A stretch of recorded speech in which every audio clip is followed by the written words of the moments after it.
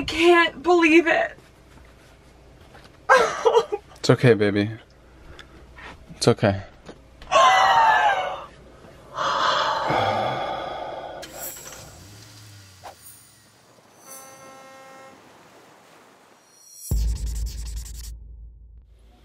You ready? Ready. Let's do this. Hey guys. As you've probably seen from the title of this video, we got robbed. Last Saturday, we kind of had our van life nightmare happen to us. After an otherwise beautiful morning, we started off with a coffee. We met Virginia and Ricard, and then went and volunteered some time at a dog shelter here. After that, we were actually a fairly emotional drain from the over 100 dogs they had here. And we went to a beach and kind of for the first time in our entire Europe trip, Yeah. we left everything out just charging because we were filming all morning. We said, let's just go to the beach for a couple hours. We parked out front of a hotel. We thought it'd be an amazing time to unplug, and to be honest, we really did enjoy our time at the beach. It didn't feel weird. Like you said, it was in front of a hotel that had security guards. So I think we should just let it roll. You guys can see how everything's unfolded. Um, we will say that the footage is on a GoPro, so it's a little bit different quality than you guys are used to from us. But it's just real and raw, and um, we like to share the good with the bad. So here goes nothing. So this is what happened. I am in like complete shock.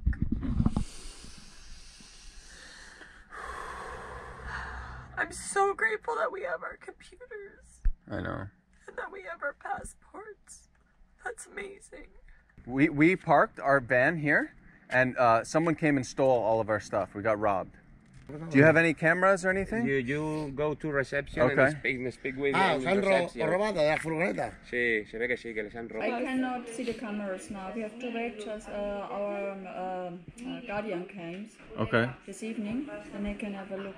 Receptionists at the hotel was really helpful. They don't necessarily have cameras on the street, and they've called the police, and the police said we need to come down to do a proper report. So, not the evening we were expecting to have, but we might as well get that sorted. I'm I'm not sure what like it's gonna do for us, but maybe in the future it can help like I don't know catch the bad guys. Anyways, I'm done crying. That's the last time you'll see me cry. It's just stuff.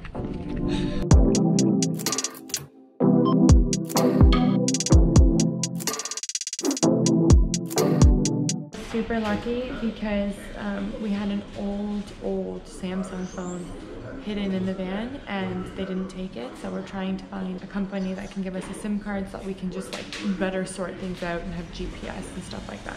Okay, well, Bec tries and sorts that out. I think the police station's actually just up here. So I'm gonna pop in and start this process. Might take a while. Well, that's classic.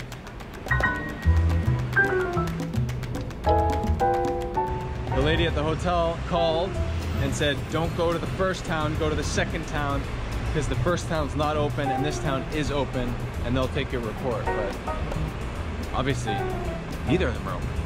Policia! Police! We had my car broken into. Where do I go? Is there a police station to do a report? Can you show me where it is? Okay, thanks for your help, guys. Super helpful cops. You're watching this and you're th- starting to think, oh, I'm not coming to Spain. They're gonna rob me.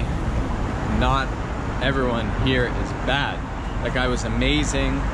He saw that the phone that we had didn't work. He has a cracked screen at home and he offered to lend us that phone for as long as we want. So just an unbelievable person. Uh, unfortunately, that's not gonna work for us because I think we need to go to Barcelona to get some other gear.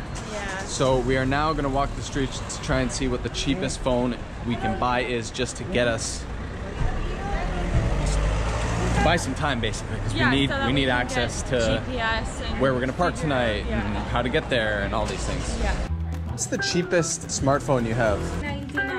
Which one is it? Looks like a beauty. New game plan, we're using Wi-Fi to try to use my Skype to call Rogers, which is our um, provider back home that we bought this from forever ago and see what they can do about making sure it's unlocked. French. Can you give me like an unlock key or how does this work? We called and spoke to Becky at Rogers and she was able to figure out our issue why Movistar wasn't working, but Well, hopefully. well yeah, let's not jump to the gun. One nine. Yeah, that's the same code. You try this SIM card in, in my mobile. Okay. Can I try your SIM card in this one? Your phone as well. There's a master PUK code. In Spain, only have one. That's it. Phone's cooked. Total disaster, total failure. We're going back to our Pakistani brother who's gonna hook us up with a $65 HTC something or other just to get us through because if we don't have internet, we're, give me a good, give me a good metaphor. We're We're fish out of water. paddling up creek or whatever that one. is. Yasir here is the man. I've given him my Samsung. He gave me a brand new Redmi, which is gonna work globally. So that's a good move. Thank you very much, sir. You are welcome. Appreciate it. Uh, it's not good. I ran ahead and now I've lost back. She's gonna be very upset about this.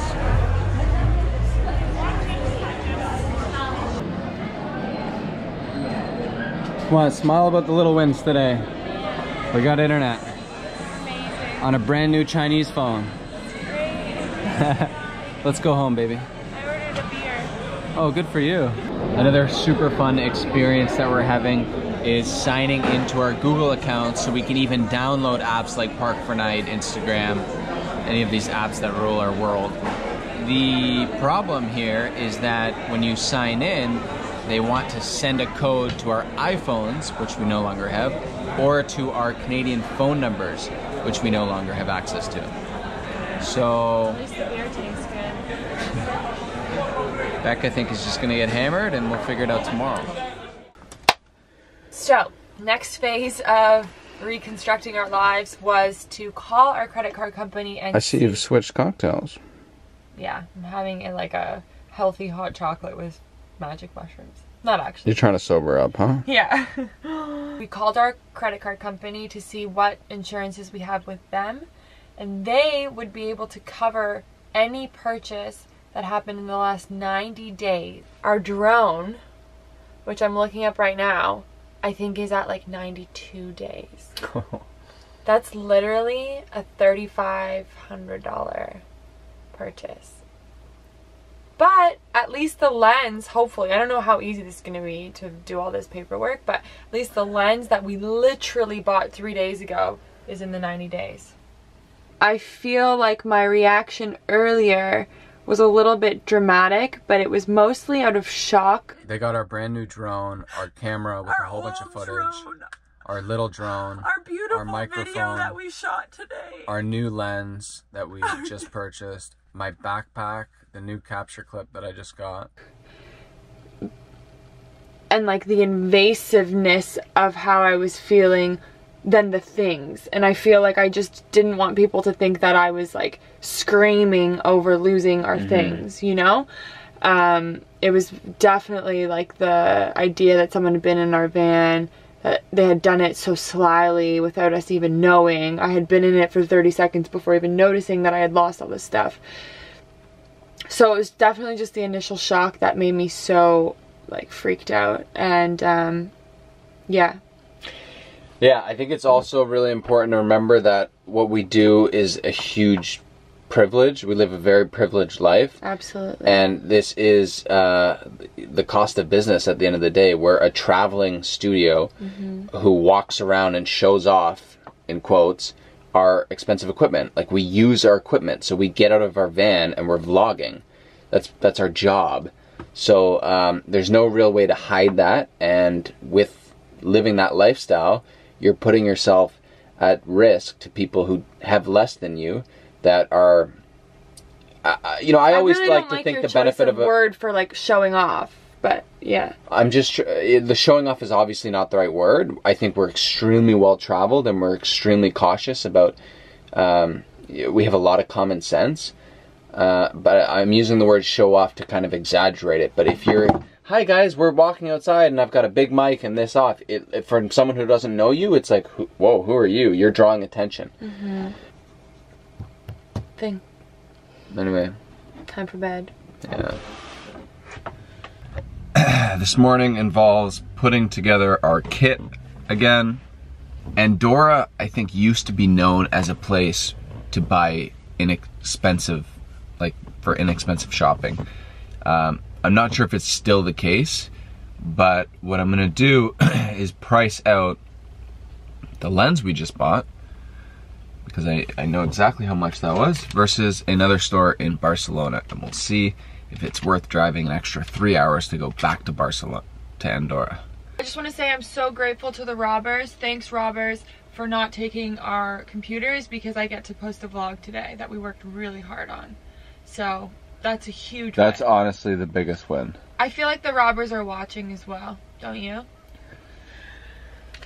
Well, in that case, I do have a little cheeky message for you. Karma's a bitch, and we're good people, and you have an opportunity to make this right. You can email us, and we can link up, and you can give us our stuff back. Or just roll the dice with karma. The option's yours. Oh, everything might be closed. It was all looking closed on Sunday. Hmm. Oh, it is closed. Oh, wow. Alright. Well, I'll let you know how that went. We've arrived at the police station. I think they're trying to persuade us to not do a report. Um, originally, I said I'd like to file a report. I got robbed. And he said, Oh, yeah, it'll take at least two to three hours. I said, For what? He says, Oh, you gotta wait. There's a lot of people ahead of you. There's like literally 10 police officers standing there. Anyways, that's the system. I mean, I think at the end of the day, the main reason we're doing this is if we do have to file a claim with insurance and they need proof of a police report. I don't think there's a likelihood of these guys going out in their cop car smashing skulls. Anyway, I need the passports. Okay. I'll leave the keys here for you. And let's see if they allow me to film in there.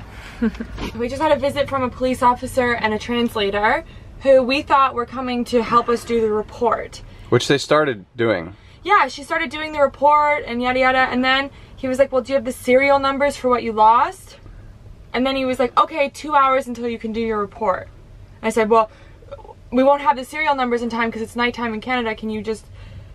I feel like they just don't want us to do this? They do don't want, report. yeah, they want it, they're trying to. He's telling he he was what I understood from his broken Spanish was like d- like they're not going to do anything. It doesn't matter. Mhm. We can report it to any police station in Spain. Really? That's what he said. So after going to three different police stations, it became very apparent that the police are not interested in taking a um, a police report about a break-in. It seems like it happens all the time. It just seems like it's a nuisance or something. They like tell you to go to the next one, or it will take five hours. So we just thought we need to start taking action on things that like we can do and get done um, like purchasing new phones and stuff so that we feel a little bit more in control. So we actually left that police station and we're now back in Andorra. Andorra La Vella is known for shopping and really low tax and apparently better prices. We did do some price comparisons and we were seeing like savings of 50 to 100 euros on um, certain items that we're gonna need. So we're back up in the mountains. We love this little camp spot. We're gonna fill up on our water. And yeah, I don't know, I've had a little bit of trouble falling asleep at night. My mind goes crazy and of course I have lots of different feelings. Mostly just a little bit nervous of like how long these guys were watching us and all that kind of stuff. As far as like our new kit, uh, it's not going to be something we're going to be able to build right away. Mm-hmm. Uh, it's taken us years to get to that point, and it's just In case people don't know what you mean by kit, you mean like lenses and camera gear. and it was we were finally at a point where we were obviously so fortunate but we we were at a point where we were so stoked with everything we had. We had our our systems dialed in to the point where all we had to worry about was creativity. Yeah. we had all the tools you know professional tools to make the most amazing videos. So it's it's just frustrating going into these camera stores and looking at these prices. Like it's just crazy. Yeah, what took us probably three years to accumulate, we're trying to build back in a day, and obviously you can't do that. So um, we're It'll just doing our while, but best. We'll get there.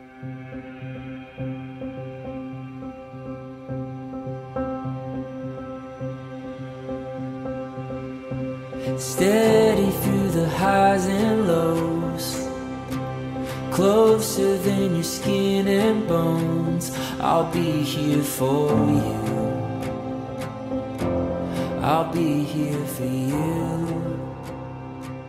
As you guys can see, Eamon and I are not in the van this morning. We've spent the last couple of days just rebuilding our kit to get what is absolutely necessary to continue filming and making videos.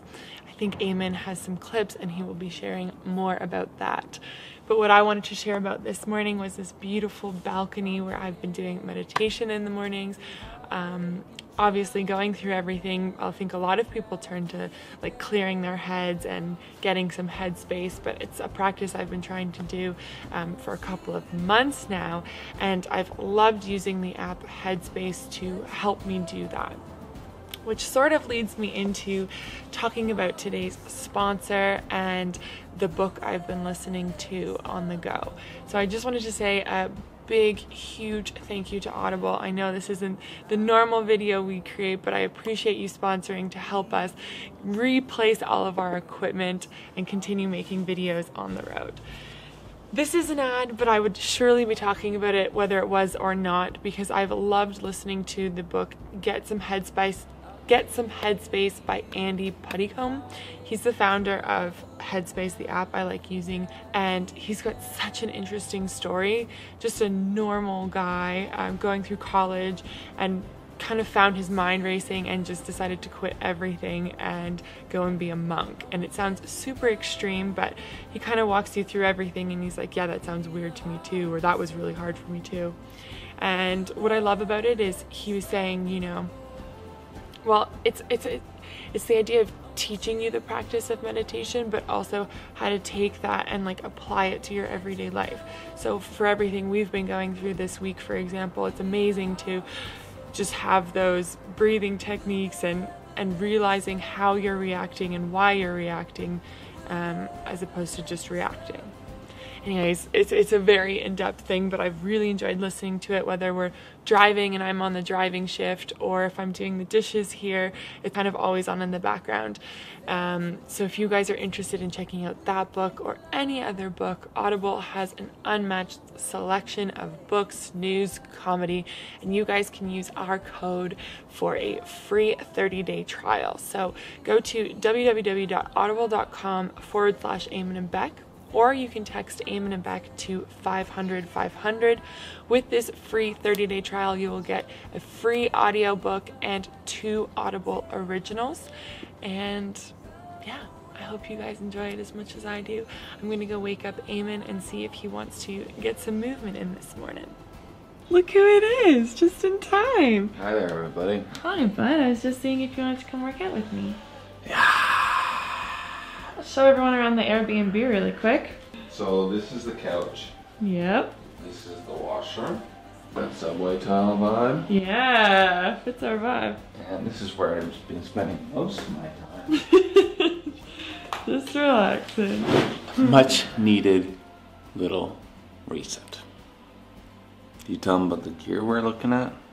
No. Well, I'll tell you about that later. A piece of me keeps pulling on you like an anchor's weight. I see a distant storm and wanna keep you close at bay. I only want the best for you, that's true, make no mistake. In time you'll see the best of me, a clearing of the rain. Never give up. Reaching for love.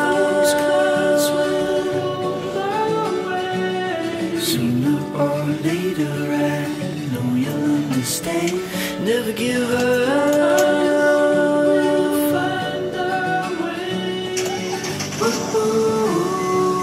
Back to that van life, baby. it already feels amazing to be back in Trinity. I think the break was really helpful. I wasn't falling asleep or sleeping very well the first couple of nights, and I'm really looking forward to sleeping in the van again. So we're gonna head to Spain. File that police report. We drove three hours back to the town of Uret, where this time we met Virginia and Ricard at the police station. We've noticed like a scrape that we've never had on the van, and then an indent on the inside right here that we've never seen before. And wow, what a difference that made. This time the cops did a full investigation and started working straight away, looking for signs of entry, fingerprints, oh, and even showing us just how easy it is to break into these vehicles.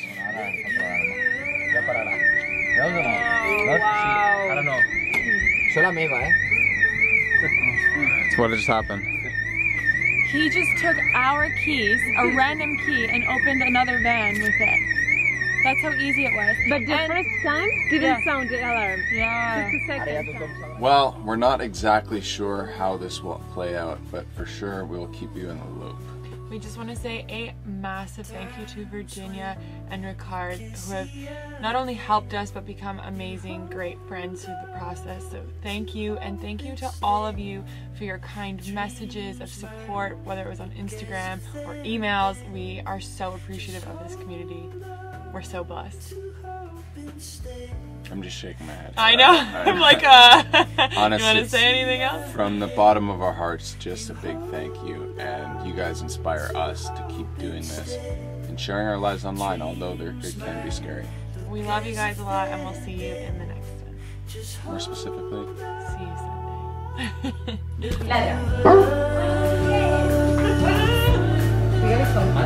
Reaching for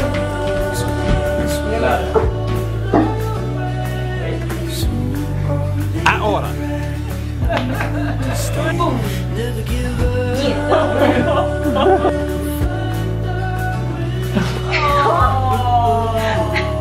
Quieto, no, quieto.